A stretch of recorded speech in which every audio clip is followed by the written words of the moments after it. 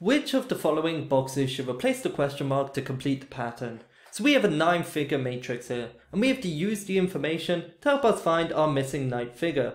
Now, this may seem a little complicated and daunting, so it's best to break it up into its columns and rows. So you can choose either, but I'm going to start with the rows and then move on to the columns.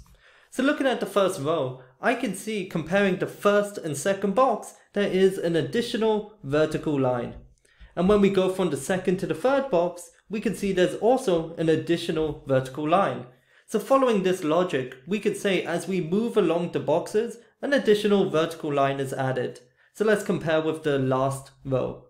We have one, and then two, and then three. So we can say that in the third column, where our missing boxes, there's going to be three vertical lines.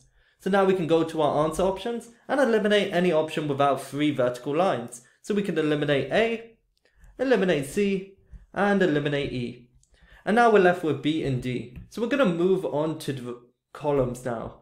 And just looking at the first column, I can see that the change is a horizontal line. It starts off with 1, and then it goes to 2, and then to 3. So we'll check it with the second column, and again we can see 1, and then 2, and then 3.